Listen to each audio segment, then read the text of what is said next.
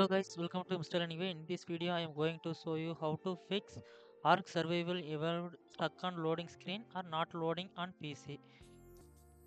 This it is simply process. Try to your problem fix it now. Before you can you are you are begin, please like and comment this video. Don't forget subscribe our YouTube channel. Okay, let's start that method. Then first method for the restart. So go to the start menu.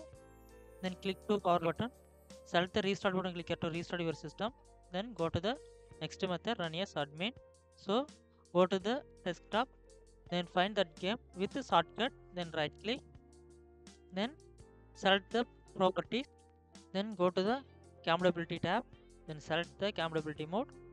Again select the run this program as administrator hit the apply and ok button click here to close it and go to the next solution. Nvidia amd shader cache file delete. So go to the NVIDIA control panel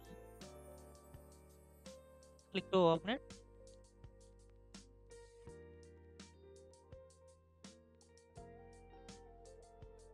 Then here 3d manage 3d settings click here. Then scroll down. Then find shader cache size file. Shader cache size. Then click to expand. Then select the unlimited then apply click to apply after that close it. You do not have the NVIDIA control panel so you have open it AMD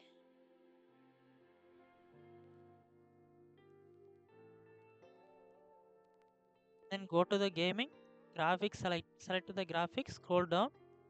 Then advanced click to advanced again scroll down.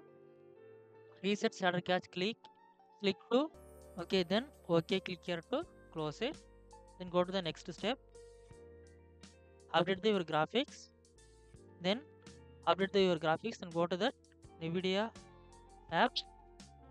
If you do not have the nvidia uh, control panel or nvidia app then you have open it amd so driver click here. Then then download bending. So click to update the graphics card then go to the next uh, next method. Then advanced system settings.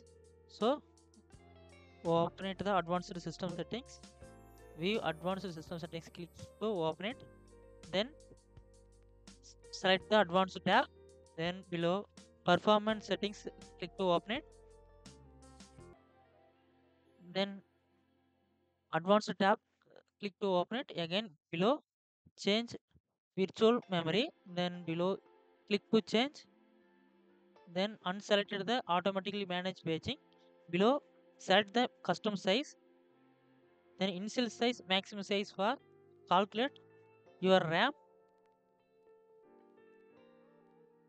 into your ram value into 1.5 equal value take to initial